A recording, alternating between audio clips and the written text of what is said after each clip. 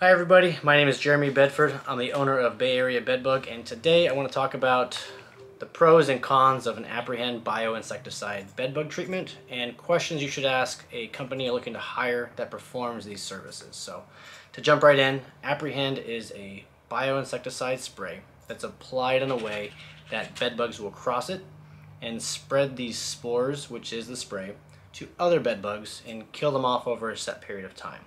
So some of the major pros I'll go into first. First and foremost, very low preparation is required for aprehend. For the most part, whenever we do aprehend treatments, we recommend the bedding be stripped and around the bedding area be decluttered. So not as invasive as doing like a heat treatment or other treatment methods. This is really low preparation. So one huge pro. The next benefit, actually I would almost put this first, is much lower cost than our heat treatment.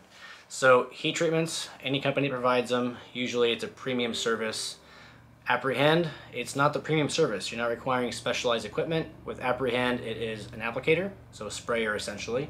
And then of course the spray. Usually it's a one person kind of a job to where not gonna be there on site for eight hours, 10 hours like a heat treatment. So that's another big benefit, the low cost. So another huge thing that I like again, I like this a lot, is it's working 24-7. So when aprehend is applied, these spores are a living, breathing fungal spore. Bed bugs that cross it, no matter what time of day it is, they're going to start getting killed by these spores. So that's a huge plus is it's continuously working under all levels of infestation, whether you've got a handful of bugs or tens of thousands, it can be used. So uh, another next great thing, Low toxicity. So they rate chemicals on three different ratings. You have caution, warning, and danger. Danger being the highest level of toxicity, highest risk of health, you know, repercussions. Caution is the lowest.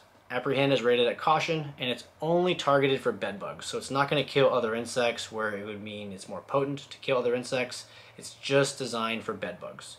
And it's applied in places that's not going to come in direct contact with skin so it doesn't get sprayed all over your bed, on your pillows, you know.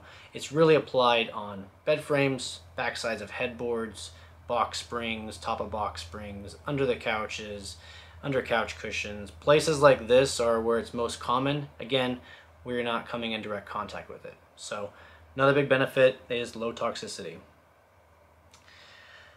The other part I already touched on, is that it spreads like a virus. So to kind of go into it more, the way it works is these bugs, they cross the spores. They then go back to their harborage area. These spores that are on their feet, kind of like wet feet going through sand, will then get dropped off to other bed bugs. This is how the treatment works, is it spreads much like a virus. Unlike other chemicals that are out there that every single bug has to come in contact with, Aprehend isn't that way. It can work with only hitting a handful of the bugs who will then spread it to the other bugs and wipe out the infestation. So major pro with using Aprehend. Um, now to jump into the bad. So this part is, it's not really bad, it just is what it is. But essentially you have to have patience. So Aprehend is not something you would want to do if you're looking to kill the bugs in one day. If you are, that's heat treatment and I made a video about that so check that out. Otherwise, it's great. So when I say patience, this is the way it works. One bug crosses it, it takes a few days for that bug to die. In that same period of time as it's spreading the spores around, those bugs will take time to die. So you will still possibly see bugs, you may possibly get bites. This is all 100% normal. The next phase that happens is about a week to three weeks in, the bedbug eggs will hatch. Those bugs have to feed right away. So same scenario, you may get a wave of bites after you've been good for a while because those newly hatched bed bugs have to cross the spray. So something to consider. You know, you might get bites, you might see bugs.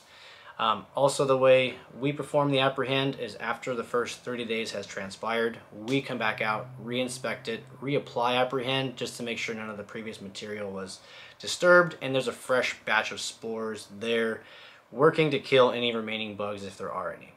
So that's one of the drawback though is the patience you have to have and it is a two-step process unlike the heat treatment which is typically one and done.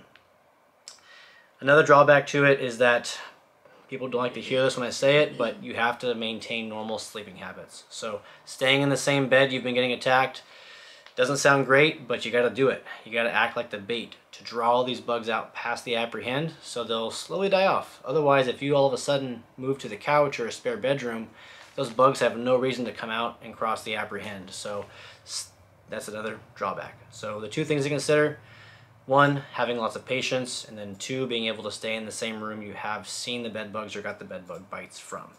So that sums it up for the good and the bad of Aprehend. Now, when talking to a pest control company, here are some of the things you want to ask them if they're going to provide Aprehend. What I like to do is make sure they're make sure they're actually licensed, bonded, and insured. Essentially, with Aprehend, you're supposed to be licensed to even get your hands on it, but knowing the internet, you can find things and get it other ways. So, uh, double check that they're licensed, bonded, and insured. The next thing is check their track record look at their Google My Business, check out their Yelp, their Thumbtack, whatever way you found them, make sure they have good reviews. If you've got some so-so reviews or some negative reviews in there, you know, read them, take them with a grain of salt, but understand that if someone left a bad review, there's usually a reason for it. So that's the next thing. Make sure they have a proven track record. And then finally, make sure they've got a guarantee. I don't care how long they've been doing this or what they've been doing. If you specialize in bed bugs, knowing that they can get brought back in, you should still have a guarantee. At Bay Area Bedbug, we do a minimum six month guarantee, whether it's our heat treatment or our aprehend treatment. Again, knowing they can get brought back in the next day, we will still guarantee it. Other companies should do the same. No, they won't always do that, but double check that they have some sort of guarantee. Also, when dealing with guarantees, look at the fine print. Uh, with us in the six months, if you have a bedbug reinfestation, we come back out at no charge. We don't have a service call fee. Some companies will do 30 days, you know, six weeks, 60 days where it's no charge. Then they'll give you a long three-year warranty, but if they come back out, they charge you every time. So find out what that charge is, just to make sure you're prepared for a potential reinfestation or if the treatment doesn't work. So ask about the guarantee. And that pretty much summarizes it. So those are the three things to ask for pest control companies when you're looking to hire them, especially for aprehend. If this video was helpful, feel free to leave it a like or a comment down below, and I'll catch you on the next one. Thanks.